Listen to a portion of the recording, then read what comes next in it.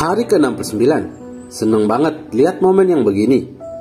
David makin pulih, ayah Joe dan mama Amel makin bahagia. Hari ke-69 setelah penganiayaan yang dialami remaja 17 tahun, Kristalino David Ozora.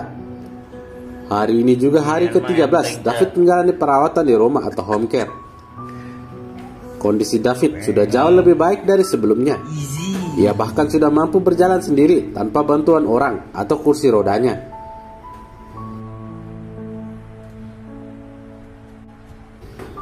Pagi ini Sabtu 29 April 2023 agak berbeda.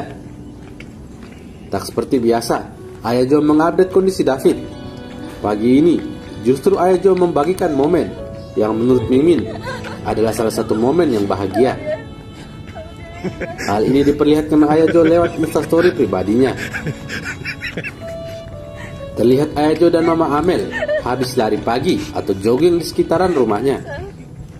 Tak lama Ayah Jo dengan sengaja merekam Mama Amel untuk sekedar bercanda. Nampak Mama Amel salting saat divideokan Ayah Jonathan, hingga mereka berdua pun tertawa.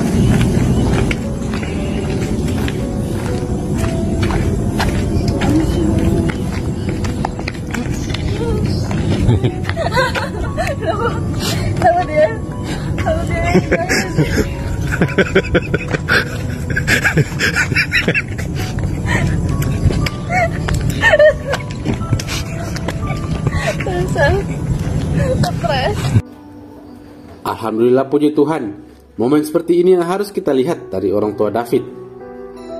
Walau terlihat sepele, namun Mim merasa sangat bahagia melihatnya. David sangat bersyukur memiliki seorang ayah yang tabah dan ikhlas seperti ayah Joe. David lebih bersyukur lagi mempunyai ibu sambung yang seperti Mama Amel.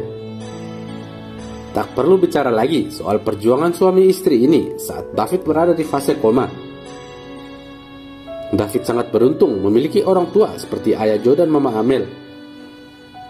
Mereka orang tua yang kuat dan memiliki anak yang jauh lebih kuat lagi. Jangan lupa subscribe agar tidak ketinggalan berita kondisi David hari demi harinya.